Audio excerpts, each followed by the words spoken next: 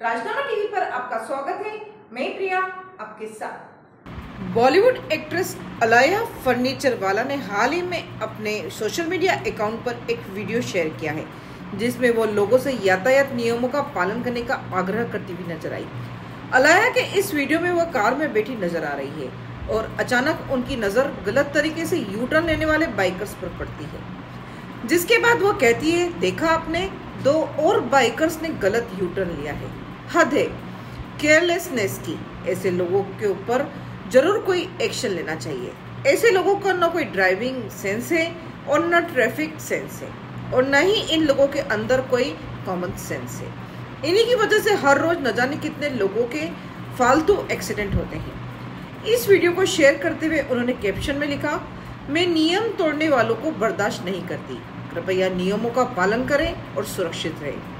Video सामने आते ही सोशल मीडिया पर यूज़र्स अलाया को ही ट्रोल करते नज़र आ रहे हैं। दरअसल, अलाया ने वीडियो में खुद ही सीट बेल्ट नहीं पहना है।